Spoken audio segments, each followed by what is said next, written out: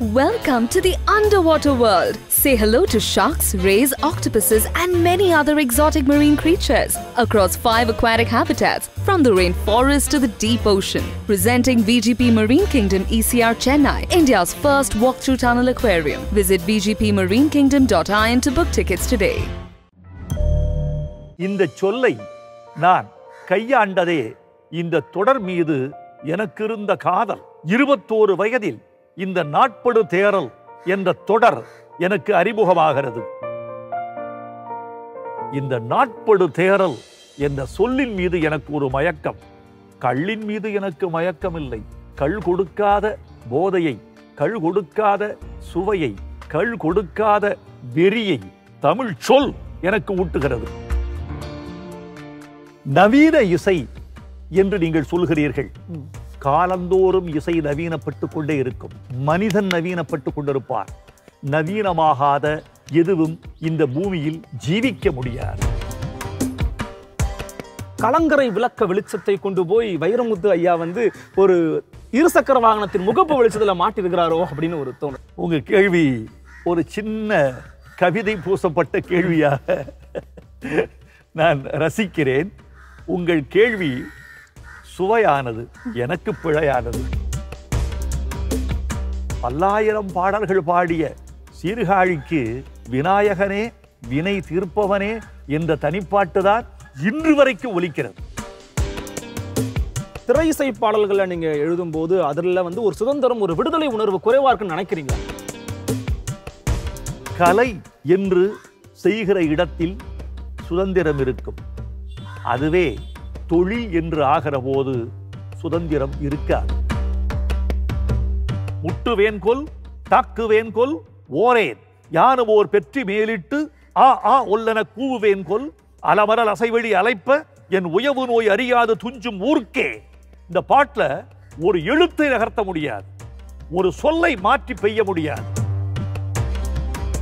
துய்க்காத எண்ணிதழை துப்பித் தொலையேனோ? தூண்டாத என் மார்பை தோண்டி எறியேனோ? பாராத என் அழகை வாயில் புதைப்பேனோ? தீராத என் காதல் தீயில் எரிப்பேனோ? தமிழர்கள் மொத்தம் இப்போது ஏழு கோடிக்கு மேல் இருப்பதாக சொல்லுகிறார்கள். இந்த ஏழு கோடி மக்களும் இருந்தால் மட்டுமே தமிழ் வாழ்ந்து விடாது. ஏழு கோடி மக்களும் தமிழ் பேசுகிற வரைக்கும் தான் தமிழ் இருக்கும். பொள்ளாச்சி என்று எழுதச் சொன்னால் புள்ளத்தாச்சி என்று எழுதுகிற தலைமுறைக்கு வந்துவிடும். ஆத்தா ஒரு மூலையில அப்பையும் ஒரு மூலையில் காத்தா பறக்கிறாக கவர்மெண்ட்டு வேலையில். வீடியோ பார்த்தபடி வேலைக்காரி தூளியாட்ட ஆடியோ கேட்டபடி ஆதவனே கண்ணுறங்கு தூண்டாத என் மார்பை தோண்டி எரியேனோ ரொம்ப கடுமையா இருக்கே தீவிரமா இருக்கே. அப்பா கேட்டோடனே சிலிர்க்குதே. இது கொஞ்சம் தீவிரமாக கூட இருக்கே என்று கேட்டார்கள். நான் சொன்னேன் எப்பா அது நான் சொன்ன வரி இல்லப்பா அம்மாள் ஆண்டாள் சொன்ன வரிப்பா.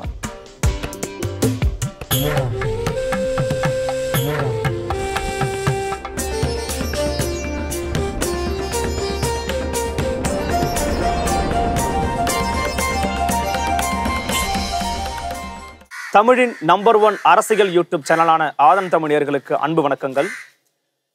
இன்றைக்கு நம்முடைய தமிழ் உலா நிகழ்ச்சியில நாம ஒரு சிறப்பு விருந்தினரை பார்க்க போறோம். நான் தொண்ணூறுகளில் பிறந்தவன்.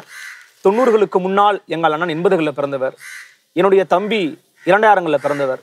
ஒரு மூன்று தசாப்தங்களுக்குமே ஒரு பிடித்த ஒரு கவியாக வலம் வந்து கொண்டிருப்பவர் மதிப்பிற்குரிய ஐயா கவிப்பேரரசு வைரமுத்து அவர்கள். வாருங்கள் கவிப்பேரரசோடு அருளரசுவின் தமிழ் உலா நிகழ்ச்சி. ஐயா வணக்கம். வணக்கம். எப்படி இருக்கீங்க? மிக நன்றாக.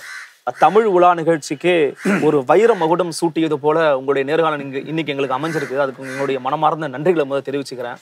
நான் உங்களுக்கு நான் நன்றி சொல்றேன். ஒரு தலைசிறந்த காட்சி ஊடகத்தின் மூலமாக தமிழர்களை சந்திப்பது ஒரு இடைவெளிக்கு பிறகு சந்திப்பது எனக்கு அரிய வாய்ப்பு என்று நான் கருதுகிறேன். வாய்ப்பு தந்த உங்களுக்கு என் நன்றி. ரொம்ப மகிழ்ச்சியாக இருக்குது நெகிழ்ச்சியாகவும் இருக்கு இந்த தருணம். ஏன்னா சின்ன வயதிலிருந்தே உங்களுடைய பாடல்களை கேட்டு அதை பார்த்து வளர்ந்த ஒரு பிள்ளை அப்படிங்கிறதுனால இந்த நொடி ரொம்ப மறக்க முடியாத நொடி எனக்கு. அந்த அடிப்படையில் சமீபத்தில் கேள்விப்பட்ட காத்து கொண்டிருக்கக்கூடிய நாட்படு தேரல். பொதுவாக ரொம்ப தமிழ் சார்ந்து இயங்கக்கூடிய நபர்களுக்கு தெரியும் அது ஒரு புறநாற்று பாடல் ஒரு வரி ஒரு ஒரு வார்த்தை அப்படிங்கிறது. அவ்வை பெருமாட்டையார் புகுட்டெழியை பாராட்டி பாடுறாங்க. நாட்படு தேரலை கவிப்பேரரசு அவர்கள் தேர்வு செய்ததற்கான காரணம் என்ன? அதனுடைய உள்ளார்ந்த பொருள் என்ன? நாட்படு தேரல் என்ற தலைப்பை நீங்கள் குறியீட்டு பொருள் என்று புரிந்து கொள்ள வேண்டும். மனோரஞ்சிதம் என்று ஒரு கவிதை தொகுதிக்கு ஒரு கவிஞர் பெயர் சூட்டுகிறார் என்றால் அதன் பொருள் என்ன? ஒவ்வொரு தாளிலும் மனோரஞ்சிதம் மணக்கும் என்றா? அல்லது மனோரஞ்சிதத்தால் தயாரிக்கப்பட்ட புத்தகம் என்றா? அல்லது மனோரஞ்சிதத்தை பற்றிய கவிதைகள் என்றா? இல்லை. மனோரஞ்சிதம் என்பது ஒரு குறியீடு. மனோரஞ்சிதத்துக்கு என்று ஏற்றப்பட்ட ஒரு தொன்மப் பொருள் உண்டு. அது என்னவெனில் எந்த பூவை நினைந்து கொண்டு நுகர்ந்து பார்க்கிறீர்களோ அந்த பூவின் மனத்தை மனோரஞ்சிதம் வழங்கும் என்பது நம்பிக்கை. அது உண்மையா என்று எனக்கு தெரியாது. மல்லிகையை நினைத்து கொண்டு மனோரஞ்சிதத்தை மூக்கின் பக்கத்தில் கொண்டு சென்றால் மல்லிகை வாசம் அடிக்கும். ரோஜாவை நினைத்து கொண்டு மனோரஞ்சிதத்தை மூக்கின் அருகே குணர்ந்தால் அது ரோஜாவின் வாசனை அடிக்கும். இப்படி எந்த பூவை நினைத்து கொண்டு நுகர்ந்தாலும் அது அந்த பூவின் வாசனையை அடிக்கும் என்பது ஒரு தொன்மம். அப்படி கவிஞன் கருதுகிறான் என்னுடைய கவிதையில் நீங்கள் எந்த பொருளை நினைத்து கொண்டு நுகர்கிறீர்களோ அந்த பொருளை நான் முழுமையாக தருவேன். என்று நான் இந்த தொகுதிக்கு பெயர் சூட்டியிருக்கிறேன் என்கிறான் ஒரு கவிஞன். அது ஒரு குறியீடு. நாட்படு தேரல் அந்த வழியில் வந்த ஒரு குறியீடு. நாட்படு தேரல் என்றால் என்ன? தேரல் என்ற சொல்லுக்கு கள் என்று பொருள். நாட்படு என்ற அடைமொழிக்கு நாட்பட்ட என்று பொருள் பொருள். கள் நாட்பட்டது நாட்படு தேரல் இந்த சொல்லை நான் கையாண்டதே இந்த தொடர் மீது எனக்கு இருந்த காதல். இருபத்தோரு வயதில் இந்த நாட்படு தேரல் என்ற தொடர் எனக்கு அறிமுகமாகிறது. ஔவையார் பாடிய பாடல் புறநானூற்றின் முன்னூற்று தொன்னூற்று இரண்டாம் பாடல். அந்த பாடலில் நீங்கள் சொன்னது போல் புகுட்டெழினி அதியமானின் மைந்தரை பாடுகிறாள் அவ்வை அவள் சொல்லுகிறாள் இவன் எனக்கு நல்ல ஆடை கொடுத்தான். தேட்கடுப்பன்ன நாட்படு தேரல் கொடுத்தான் என்று பாடுகிறாள். பழந்தமிழர்களுக்கு ஒரு வழக்கம் தோழர்களே. இப்போது கள்ளுண்ணாமை என்ற அதிகாரத்தை வள்ளுவர் அமைத்தார் என்றால் என்ன பொருள்? தமிழர்கள் கள்ளுண்டு கிடந்தார்கள் என்று பொருள். எனக்கு இன்னொரு கருத்தும் உண்டு. தமிழர்கள் கள்ளுண்டது போதை என்ற பொருளில் அல்ல. தண்ணீர் போல் மோர் போல் பால் போல் அவர்கள் தயாரித்த கள் தாகம் தீர்க்கிற ஒரு பானம் ஒரு உணவு. களை களைப்பை தீர்க்கிற ஒரு உணவு. ஒரு திரவ பதார்த்தம். என்றுதான் சங்க இலக்கியத்தில் உண்ட கல்லை நாம் புரிந்து கொள்ள வேண்டும். அதற்கு பிறகு அதற்கு ரசாயனம் செலுத்தி அதற்கு பிறகு வெவ்வேறு பொருள்களால் செறிவூட்டி அதற்கு பிறகு அதுக்கு போதை ஊட்டி அதற்கு பிறகு புத்தி தடுமாற வைத்து சென்றதெல்லாம் பிற்காலம். ஆனால் ஔவை கல்லுண்டு இருந்திருக்கிறாள். அதியமான் கொடுத்திருக்கிறான். அந்த கல் என்பது ஒரு உணவு முறையின் ஒரு பகுதி ஒரு விருந்தோம்பல் தான். விருந்தோம்பல் என்றுதான் நாம் கருதி கொள்ள வேண்டும். அந்த நாட்படு தேரல் என்றால் என்னவென்றால் அருளரசு தேனை கொளித்த தேனை. கொம்பு தேனை மூங்கில் குழாய்களில் ஊற்றி பூமிக்கடியிலே புதைத்து வைப்பார்கள். அது காலந்தோறும் பூமிக்குள்ளே இருக்கும். ஒரு குறிப்பிட்ட காலம் கழித்து சில மாதங்களோ சில ஆண்டுகளோ கழித்து பூமி தோண்டப்படும். தோண்டி பார்த்தால் உள்ளிருக்கும். அந்த மூங்கிலில் புதைக்கப்பட்ட தேன் நொதித்திருக்கும். நுரைத்திருக்கும். செழித்திருக்கும். அது தேரலாக கனிந்திருக்கும். அதை எடுத்து அருந்தினால் அவ்வை சொல்கிறாள் ஒரு சொட்டு நாவில் பட்டால் அது நாவில் தேள் கொட்டியது போல கடுக்கும் என்கிறாள். அது தேவைப்பட்டிருக்கிறது தமிழர்களுக்கு. தேட்கடுப்பன்ன நாட்படு தேரல் இந்த நாட்படு தேரல் என்ற சொல்லின் மீது எனக்கு ஒரு மயக்கம். கள்ளின் மீது எனக்கு மயக்கம் இல்லை சொல்லின் மீது எனக்கு மயக்கம். கள் கொடுக்காத போதையை கள் கொடுக்காத சுவையை கள் கொடுக்காத வெறியை தமிழ் சொல் எனக்கு ஊட்டுகிறது. அதைத்தான் வைத்தேன். இதுக்கு என்ன பொருள்னா பூமியின் கீழே தேனோ பழச்சாரோ புதைத்து வைக்கப்பட்டது போல் ஐம்பது ஆண்டுகளாக என் நெஞ்சில் புதைத்து வைக்கப்பட்ட தமிழை தமிழர்களே எடுத்து அருந்த தருகிறேன் என்பதுதான் நாட்படு தேரல் என்ற தொடரின் குறியீட்டு பொருள் என்று தமிழ் உலகம் புரிந்து கொள்ள வேண்டுகிறேன். நாங்களும் அந்த நாட்பட்ட தேரலை வந்து சுவைக்க காத்திருக்கிறோம் அப்படிங்கறத சொல்லிக்கிறேன். இன்னொரு விஷயம் ஐயா இப்போ சமீபத்துல பாத்தீங்கன்னா நவீன இசையினுடைய வடிவம் மாறி இருக்கிறது பாடல்கள்ல அமையக்கூடிய சொற்கள் மாறி இருக்கிறது அந்த அடிப்படையில நாட்படு தேரல் இதுல இருந்து எப்படி வேறுபடுகிறது? உங்கள் கேள்வியை நான் மிகவும் ரசிக்கிறேன். என் நெஞ்சு திறப்பதற்கு உங்கள் கேள்வி வழிவிட்டிருப்பதாகவே நான் வரவேற்கிறேன். நவீன இசை என்று நீங்கள் சொல்கிறீர்கள். காலந்தோறும் இசை நவீனப்பட்டு கொண்டே இருக்கும். மனிதன் நவீனப்பட்டு கொண்டிருப்பான். நவீனமாகாத எதுவும் இந்த பூமியில் ஜீவிக்க முடியாது. நவீனப்படுத்திக் கொண்டே இருக்க வேண்டும். நேற்று சுவாசித்த சுவாசத்தில் உங்கள் உடல் இயங்கவில்லை. நேற்று உண்ட உணவில் உங்கள் உடம்புக்கு ரத்தம் வருவதில்லை. இன்று சாப்பிடுகிற உணவும் இந்த சனத்தில் நீங்கள் சுவாசிக்கிற காற்றும் தான் உங்களை நவீனப்படுத்துகிறது. இசையும் நவீனம் மொழியும் நவீனம் வாழ்வு நவீனம். இதில் எப்படி நவீனப்படுகிறது என்றால் என்னுடைய ஒரு சின்ன ஆதங்கம்தான் தமிழ் திரைப்படங்களின் வழியாகத்தான் தமிழர்கள் கொஞ்சம் இலக்கியத்தை பருகினார்கள். தத்துவ பாடல்கள் பருகினார்கள். சங்க இலக்கியம் தெரிந்து கொண்டார்கள். சிலப்பதிகாரத்தை நான் முதலில் கேட்டது பூம்பு பாட்டின் வழியாகத்தான். நான் தேவாரகத்தையும் திருவாசகத்தையும் திவ்ய பிரபந்தத்தையும் செவிகளில் மாந்தியது திரைப்பட பாடல்கள் வழியாகத்தான்.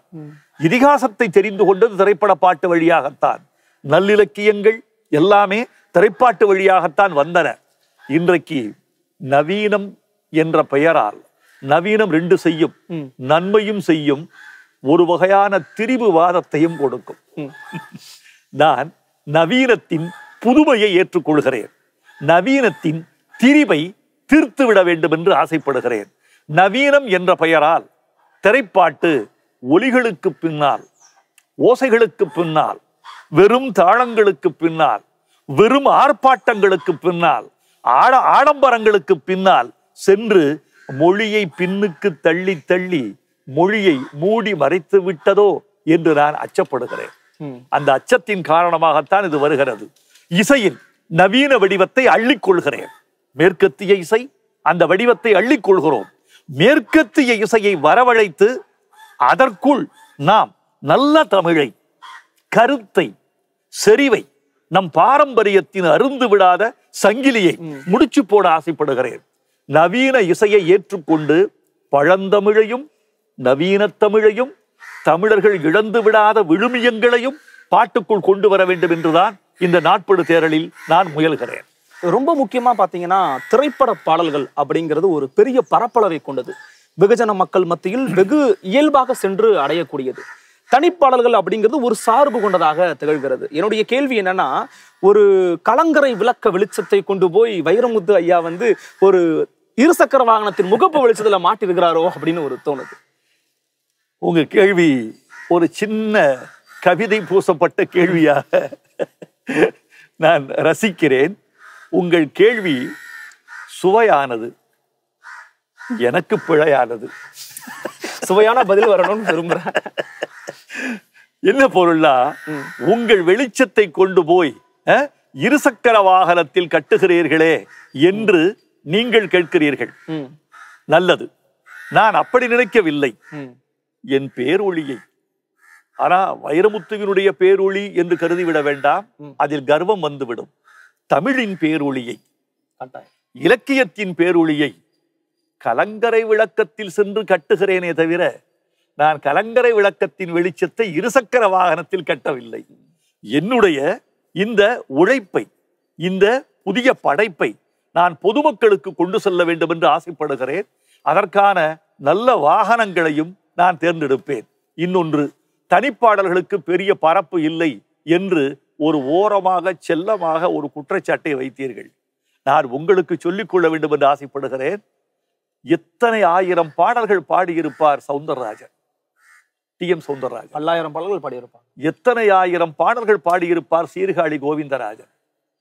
அவர்களுக்கு திரைப்பட பாடல் சமூக வெளியில் பொது வெளியில் காற்று வெளியில் நின்றதை விட கற்பனை என்றாலும் கற்சிலை என்றாலும் கந்தனே உனைமறவேன் என்ற தனிப்பாட்டு நிற்கிறது. பல்லாயிரம் பாடல்கள் பாடிய சீர்காழிக்கு விநாயகனே வினை தீர்ப்பவனே என்ற தனிப்பாட்டு தான் இன்று வரைக்கும் ஒலிக்கிறது. கிராமத்துக்கு போனால் காற்று வெளிகளில் தவழ்ந்து கொண்டிருப்பது டிஎம்எஸ்னுடைய அந்த பழைய பாட தனிப்பாடல். சீர்காழியின் தனிப்பாடல். நீங்கள் கேட்கலாம். நீங்க புத்திசாலி என்பதனால் இன்னொரு துணை கேள்வி கேட்கலாம். அது இறை. சார்ந்தது. அது இறை சார்ந்தது. அதனால் நிற்கிறது. நீங்கள் எப்படி என்று கேட்பீர்கள். நான் இறைக்கு இணையானது தமிழ் என்று நான் கருதுகிறேன். இறையை சார்ந்து ஒரு தனிப்பாடல் எப்படி உலக வெளிகளில் உலவுமோ தமிழை சார்ந்தும் அப்படி நிலைபெறும் என்று நம்புகிறேன். இன்னொன்று தனிப்பாட்டு என்பது தனியே வீட்டுக்குள் கிடப்பதல்ல. தனிப்பாட்டு என்பது தன் பரப்பை குறைத்துக் கொள்வதல்ல. தனிப்பாட்டு என்பது எல்லையற்றது. தனிப்பாட்டு என்பது தன் தடைகளை உடைப்பது. தனிப்பாட்டு என்பது சுதந்திரமானது. அதுதான் நான் கேள்வியா கேட்கணும்னு நினைச்சிருந்தேன். திரை இசை பாடல்களை நீங்க எழுதும் போது அதுல வந்து ஒரு சுதந்திரம் ஒரு விடுதலை உணர்வு குறைவா இருக்குன்னு நினைக்கிறீங்களா நீங்க? பல நேரங்களில் நினைக்கத்தானே வேண்டும். நான் இங்கு உண்மையை சொல்ல வேண்டாமா? ஒரு கவிதை எழுதுவதற்கும் ஒரு கவிஞன் தனியாக சிந்திப்பதற்கும் திரைப்பட பாட்டு எழுதுவதற்கும் ஒரு அடிப்படை வேறுபாடு உண்டல்லவா? நிச்சயமா. ஒன்று சொல்கிறேன் உங்களுக்கு. இளைஞர்களே உங்களுக்கும் ஒன்று சொல்லிக் கொள்கிறேன். ஒரு செய்தி இது மிக முக்கியமான செய்தி என் அனுபவத்தில் சொ- சொல்வது. கலை என்று செய்கிற இடத்தில் சுதந்திரம் இருக்கும். அதுவே தொழில் என்று ஆகிற போது சுதந்திரம் இருக்காது. சுதந்திரம் குறையும். உங்கள் கைகளுக்கு விலங்கு பூட்டப்படும். அந்த விலங்குகள் கூட எப்படி என்றால் நதிக்கு கரை போல என்று நீங்கள் கருதி கொண்டால் வெல்லலாம். தொழிலுக்கு சுதந்திரம் இருக்காது. கலைக்கு சுதந்திரம் இருக்கும். இப்போது தொழில் என்று வருகிற போது ஒரு இயக்குனரின் கதைக்கு நான் கட்டுப்படுகிறேன். ஒரு இசையமைப்பாளரின் மிட்டுக்கு நான் கட்டுப்படுகிறேன். விரும்பியே கட்டுப்படுகிறேன். சுவைத்தே கட்டுப்படுகிறேன். சுயித்தே கட்டுப்படுகிறேன். அதில் துன்பம் இருக்கிறது. நானே விரும்பி சுவந்த சிலுவை மாதிரி. விரும்பி சுமக்கிற போது சிலுவை கணக்குமே தவிர காயப்படுத்தாது. விரும்பி சுமக்கிற சிலுவை. இத்தனை காலம் நான் அது- சிலுவை என்றாலோ நான் கைதி என்றாலோ என் கைகளில் மூட்டப்பட்டது விலங்கு என்றாலோ நாற்பது ஆண்டுகளாக ஏன் அந்த சிறையில் இருந்தீர்கள் என்ற துணை கேள்வியை தமிழர்கள் கேட்பார்கள். அந்த கேள்விக்கு இடம் தர நான் விரும்பவில்லை. நான் விரும்பி சுமந்த பாரம். நான் ஏற்றுக்கொண்ட சிலுவை. ஏனென்றால் அந்த சிலுவை இல்லாவிட்டால் எனக்கு சிறகு இருந்திருக்காது என்பது எனக்கு தெரியும். ஆனால் இதில் நான் முழுக்க முழுக்க வானத்தில் பறக்கிறேன். காற்றோடு கைகுலுக்குகிறேன் இந்த பாடல்களின் உள்ளடக்கம் என்னால் தீர்மானிக்கப்படுகிறது. வரிகள் என்னால் தீர்மானிக்கப்படுகிறது. இன்னொன்று இதுல முக்கியமான செய்தி இந்த பாடல்களும் படமாக்கப்படுகின்றன. அதில்தான் ஒரு வேறுபாடு இருக்கிறது. நாட்படு தேரல் எப்படி வேறுபடுகிறது தெரியுமா தோழர்களே? ஒரு பாட்டு பிறக்கிற போது முதலில் நான் என்ன எனக்கு தொடர்பு கொள்வது இயக்குனர். நாட்படு தேரலில் இயக்குனர் கடைசியாக தொடர்பு கொள்ளப்படுகிறார். என்ன காரணம்? நான் பாடலை உருவாக்குகிறேன். பாட்டு முடிந்து விடுகிறது. என்னுடைய உள்ளடக்கத்தில் தீர்மானிக்கப்படுகிறது. இசையமைப்பாளர் சுதந்திரமாக இசையமைக்கிறார். அதன் பிறகு பாட்டு எங்கள் கைகளுக்கு வந்து விடுகிறது. இந்த பாட்டுக்கு பொருத்தமான சிறந்த இயக்குனர்களை என் கைக்கு சிக்குகிற இயக்குனர்களை. எனக்கு எனக்கு கொஞ்சம் என்னோடு உறவு கொண்ட இயக்குனர்களை தோழமை உள்ள இயக்குனர்களை என்னுடைய மிக முக்கியமானது என் பட்ஜெட்டுக்கு கட்டுப்பட்ட இயக்குனர்களை. நான் தேர்ந்தெடுக்கிறேன் அவர்கள் வருகிறார்கள் அவர்களிடம் அந்த பாடல் ஒப்படைக்கப்படுகிறது என்னோடு உரையாடி விட்டு அவர்கள் சுதந்திரமாக செயல்படுகிறார்கள் இயக்குனர் கடைசியில் வருகிறார் என்பதுதான் நாட்படு தேரலின் மிக முக்கியமான ஒரு தகவல். இதுலயே இப்போ நீங்க சொன்னதுல இருந்து எனக்கு ஒரு கேள்வி எழுகிறது. என்னன்னா இந்த தனி இசைப்பாடல் ஒரு நூறு பாடல்கள் இதன் மீது மஞ்சள் வெளிச்சம் விழுமாயின் இது திரைக்கு வருமா? அல்லது தனி இசைப்பாடல் எண்ணிக்கை அதிகரிக்குமா? உங்களுடைய பார்வை. இது திரைக்கே சென்றாலும் இயக்குனர்கள் இதை தேடி வந்து கேட்டாலும் அவர்களுக்கு நான் கொடுத்தாலும் அவர்கள் திரைப்படத்தில் இது இடம்பெற்றாலும் இந்த தனிப்பாடல்கள் என்ற வங்கி இனி குறையாது. அதிகரிக்கும். இந்த வங்கியிலிருந்து நல்ல பாடல்கள் வந்து செலாவணியாகும் என்ற நம்பிக்கை எனக்கு இருக்கிறது.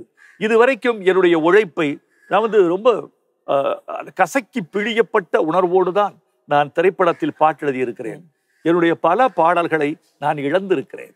உதாரணமாக ஏதேதோ எண்ணம் வளர்த்தேன் என்ற பாட்டை நீங்கள் கேட்டிருப்பீர்கள். அதற்கு எழுதப்பட்ட பல்லவி இது அல்ல. நீ சொன்னால் நிலா வருமே ஊரெல்லாம் உலா வருமே நீதானே புன்னகை மன்னன்? இதான் எழுதப்பட்ட பல்லவி. என்னை அழைக்கிறாய் காதலா? என்னை அழைக்கிறாய். நீ சொன்னால் நிலாவே வரும். நான் வரமாட்டேனா?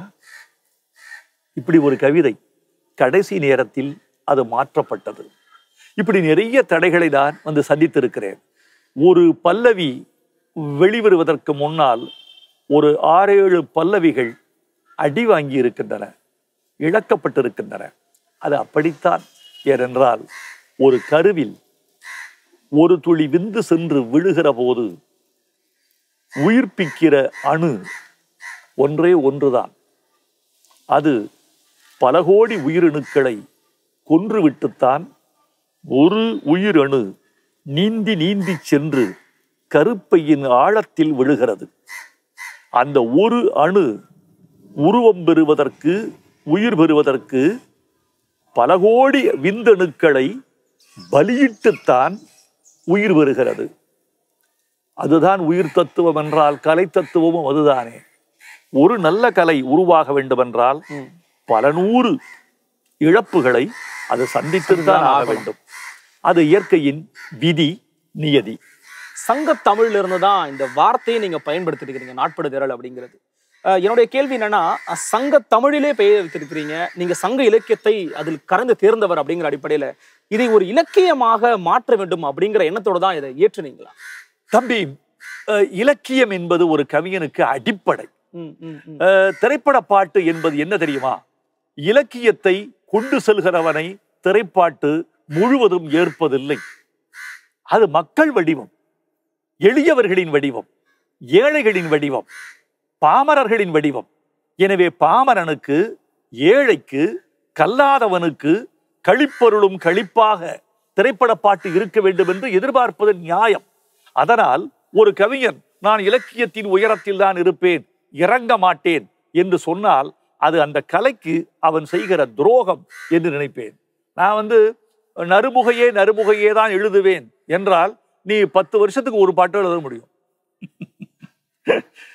நம் மக்களை சென்றடைய வேண்டாமா?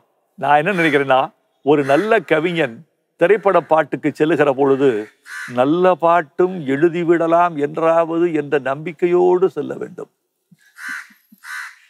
ஓராயிரம் சருகுகளுக்கு மத்தியில்தான் ஒரு தளிர் ஒரு பூ பூக்கிறது. கட்டாயமா. அப்படித்தான். அது சந்தேகமே இல்லை. நான் வந்து நினைக்கிறது திரைப்பட பாட்டை இலக்கியமாக்க வேண்டும் என்ற லட்சியத்தோடு இருக்கக்கூடாது. திரைப்பட பாட்டையும் இலக்கியம் ஆக்கலாம் வாய்ப்பு வரும்போது என்று கருதி கொள்வதுதான் நடைமுறைக்கு ஏற்றது இப்ப சங்கே முழங்கு என்ற கவிதை திரைப்பட பாடலாகிறது. காற்று வெளியிடை கண்ணம்மா என்ற இலக்கியம் கவிதையாகிறது. பச்சைமா மலைபோல் மேனி பவளவாய் கமலச்செங்கன் என்ற பாசுரம் இலக்கியமாகிறது. ஒரு பதிகம் இலக்கியமாகிறது. இப்படி இலக்கியங்களெல்லாம் பாடல்களாக ஆகிற போது பாடல்கள் மட்டும் இலக்கியமாகாமல் போகுமோ? ஆகும். அதற்கும் இடம் இருக்கிறது. இதுல நீங்க நல்ல கேள்வி கேட்டீங்க சங்க இலக்கியத்தின் சாயல் இருக்குமா? சங்க இலக்கியத்தின் நிழல் விழுந்திருக்குமா? என்று கேட்கிறீர்கள். எனக்கு சங்க இலக்கியத்தின் மீது பெரிய காதல் தோழர்களே தமிழ் உலகத்துக்கு சொல்ல வேண்டும் என்று ஆசைப்படுகிறேன். பக்தி இலக்கியத்தை விட நீதி இலக்கியத்தை விட ஐம்பெருங்காப்பியங்களை விட தனிப்பாடல்களை விட சிற்றிலக்கியங்களை விட பாரதி பாரதிதாசனை விட கண்ணதாசனை விட சங்க இலக்கியம் பெரிதா என்று நீங்கள் கேட்டால் ஒரு வகையில் பெரிது என்பேன். அது எது எனில் சங்க இலக்கியம்தான் வடமொழி தாக்கமில்லாமல் இயங்கிய தனித்தமிழ் இலக்கியம். ஆரிய பண்பாடு சேராத பேர் இலக்கியம். பெரும்பாலும் பெரும்பாலும் ஆரிய பண்பாடு சேராத இலக்கியம். தமிழர்களின் தனி இலக்கியம். தமிழர்களின் வாழ்வு இல- இலக்கியம். அதாவது இயற்கை இறந்த நிகழ்வுகள் குறைவாக இருக்கிற இலக்கியம். வாய்மொழி இலக்கியம். இன்னும் சொல்ல போனால் நான் இலக்கியத்தின் கட்டுமானத்தை கற்றுக்கொண்டதே சங்க இலக்கியத்தின் வழியாகத்தான். சங்க இலக்கியம் தனக்கு தேவையில்லாத ஒரு எழுத்தை கூட அனுமதிப்பதில்லை. ஒரு சொல்லையும் அனுமதிப்பதில்லை. முட்டுவேன்கொல் தாக்குவேன்கொல் ஓரேன். யானும் ஓர் பெற்றி மேலிட்டு ஆ ஆ ஒல்லென கூவுவேன்கொல் அலமரல் அசைவழி அலைப்ப என் உயவு நோய் அறியாது துஞ்சும் ஊர்க்கே. இந்த பாட்டில் ஒரு எழுத்தை நகர்த்த முடியாது. ஒரு சொல்லை மாற்றி பெய்ய முடியாது. அது அதுதான். கல்வெட்டுக்கள் கூட அழிந்துவிடும். சங்க இலக்கிய கவிஞரின் சொல்வெட்டு அழிவதில்லை. அவ்வளவு தேவையற்ற சொற்களை பெய்யாதே. எது தேவையோ அதை மட்டும் எழுது எது மொழி சிக்கனமோ அதை கையாள வேண்டும் என்று சொல்லிக் கொடுத்தது சங்க இலக்கியம். அதில் நிறைய பாட்டு எடுத்து பண்ணியிருக்கேன் உதாரணமா. அச்சமே அகன்று விடுன்னு ஒரு பாட்டு. மடமே மடிந்து விடு நாணமே நகர்ந்து விடு பயிர்ப்பே பறந்து விடுன்னு பெண் உரிமைக்கு குரல் கொடுக்கிற ஒரு பாட்டு. ஜிப்ரான் இசையமைச்சிருக்கிறார். சுருதிஹாசன் பாடியிருக்கிறார். சுருதிஹாசன் யார் என்று உங்களுக்கு தெரியும். கலைஞானியின் மகள். அது முக்கியமல்ல. உடன் இன்னொரு பெண் பாடியிருக்கிறார் அவர் பெயர் ரம்யா. அவர் யார் என்றால் கலைவாணரின் பேத்தி. கலைஞானி கலைவாணர். கலைஞானியின் மகளும் கலைவாணரின் பேத்தியும் இணைந்து இந்த நூற்றாண்டுக்கு குரல் கொடுத்திருக்கிறார்கள் என் பாட்டுக்கு. இது எதற்காக என்றால் நவீன உலகத்தினுடைய இளம் பெண்கள் நவீன உலகத்தின் பிரதிநிதிகள். இந்த பாடல்களை எல்லாம் புதுப்பிப்பதற்கு உதவுகிறார்கள். அதில் ஒரு வரி வரும் துய்க்காத எண்ணிதழை துப்பித் தொலையேனோ? தூண்டாத என் மார்பை தோண்டி எறியேனோ? பாராத என் அழகை பாயில் புதைப்பேனோ? தீராத என் காதல் தீயில் எரிப்பேனோ? ஏன் சாதி என்னை தடுக்கிறது? ஏன் என் காதலை இந்த உலகம் வெறுக்கிறது? குடும்பம் என்ற கட்டமைப்பு ஏன் எனக்கு விரோதமாக நிற்கிறது?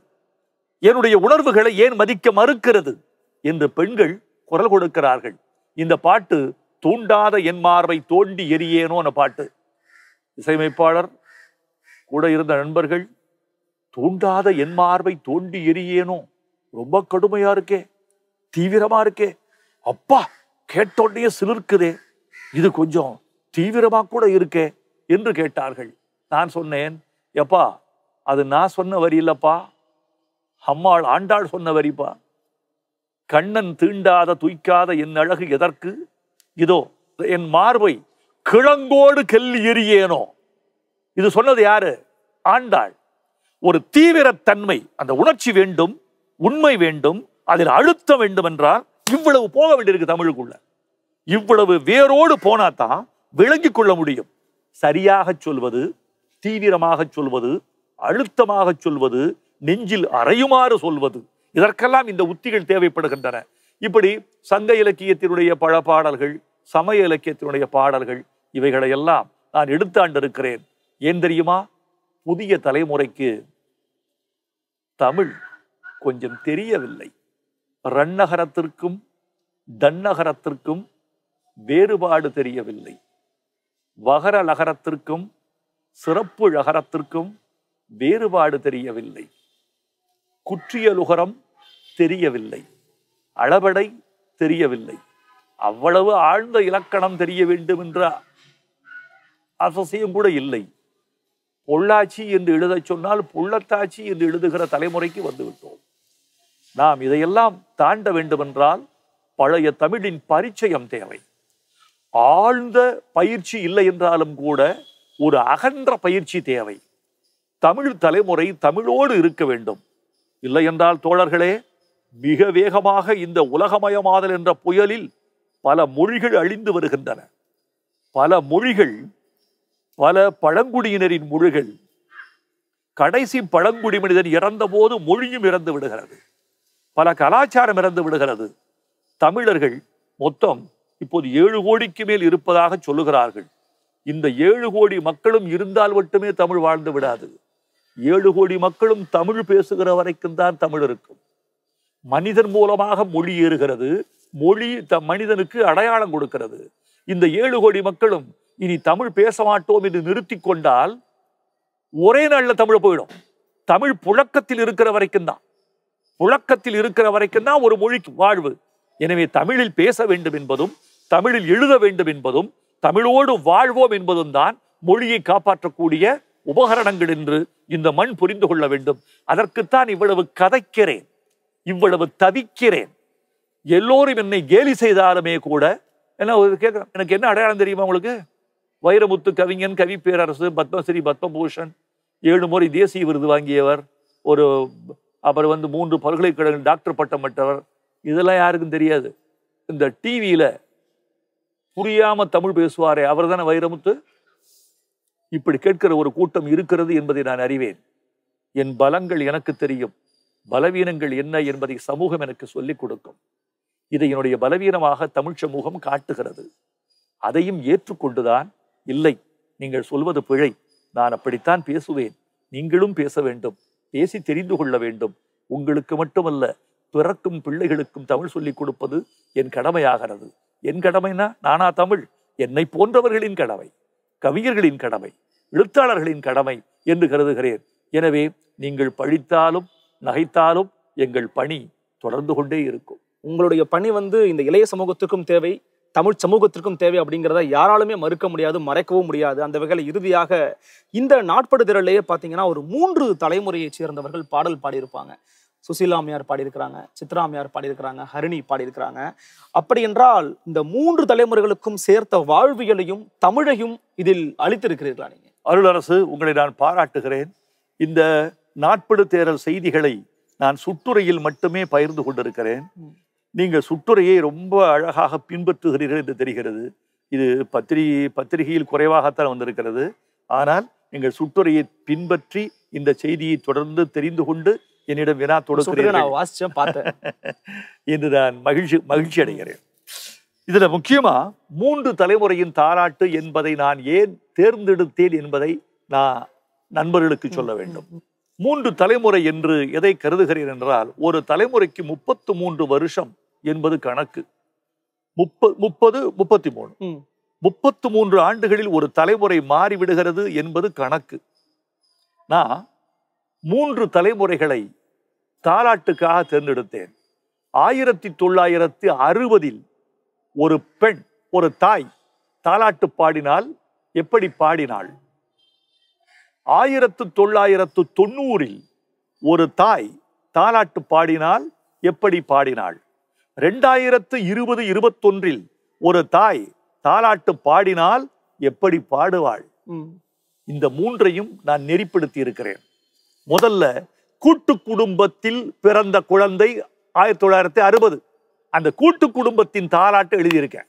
அதாவது தாத்தாமார் தூக்கி வச்சா தாடி முடி குத்துமுன்னு ஐத்தமார் ஓடி வந்து அணைச்சு எடுப்பாக எழுதியிருக்கேன். கேட்கும் போதே ஞாபகம்லாம் வருது. இது வந்து ஆயிரத்தி தொள்ளாயிரத்து அறுபது. இந்த தாலாட்டு ஆ? உங்க உங்க சித்தெரும்பு கடிச்சாலும் சித்தப்பா வருவாக. தாங்கி தோல்மாத்த தாத்தாமார் வருவாக.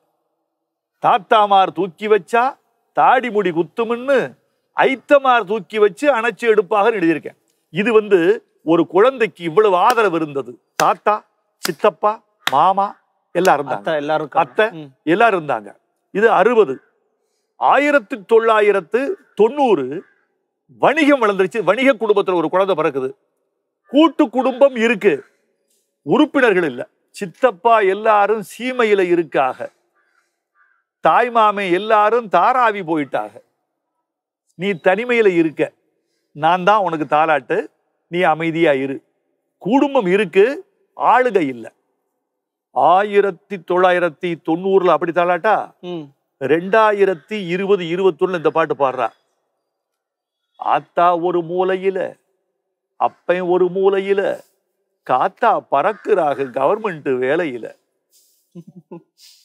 வீடியோ பார்த்தபடி வேலக்காரி தூளியாட்ட ஆடியோ கேட்டபடி ஆதவனே கண்ணுறங்கு.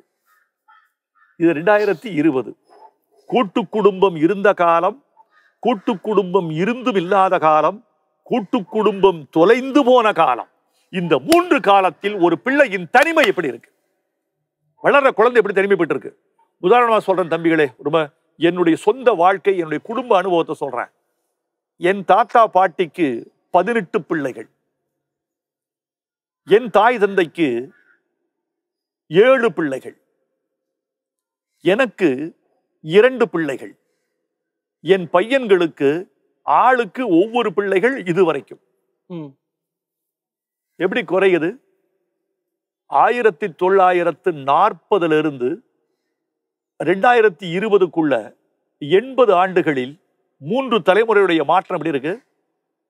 இப்படி ஆயிப்போச்சு. என்ன என்னுடைய பேரனுக்கு சித்தப்பா அத்தை இருப்பாங்களா? தெரியல. ஒற்றை குழந்தை பிறக்கிற குடும்பத்தில் சித்தப்பா அத்தை தாய் மாமன்ங்கிற உறவுகள்லாம் இருக்குமான்னு தெரியல. ஓ, இருந்தாதான் உறவு. இல்லை என்றால் அது உறவு இல்லை இப்படியே போனால் மாமன் அத்தை சித்தப்பா என்ற சொற்கள் தமிழில் வெளியேறிவிடும். உறவுகள் இல்லைன்னா மொழி சாகுது பாருங்க. உறவுகளுக்கும் மொழிக்கு தொடர்பு இருக்கு பாருங்க. இதையெல்லாம் பலவிதமான சிந்தனைகள். அருளரசு இந்த நாட்படு தேரலில் என்ன செய்கிறா இந்த சூரியனுக்கு கீழே உள்ள எல்லா பொருள்களையும் பாடியிருக்கிறேன். தமிழர்கள் கேட்டு ஆதரவு தர வேண்டும். இன்னொன்று சொல்லிக் கொள்ள வேண்டும் என்று ஆசைப்படுகிறேன்.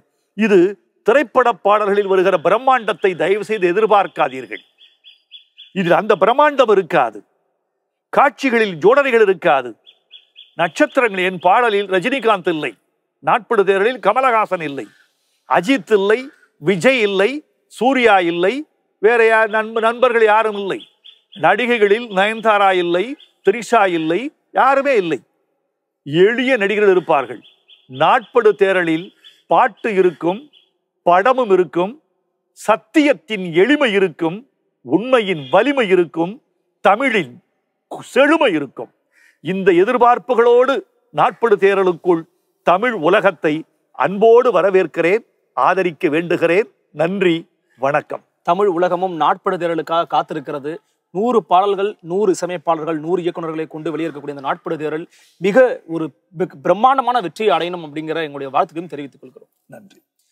நன்றி நண்பர்களே மீண்டும் ஒரு தமிழ் உலா நிகழ்ச்சியில் மற்றும் ஒரு சிறப்பு தலைப்பில் இன்னொரு சிறப்பு ஆளுமையை உங்களை சந்திக்கிறேன். அதுவரை உங்களிடமிருந்து விடைபெறுவது உங்கள் அருளரசு. இணைந்திருங்கள். இது உங்கள் ஆதன் தமிழ்.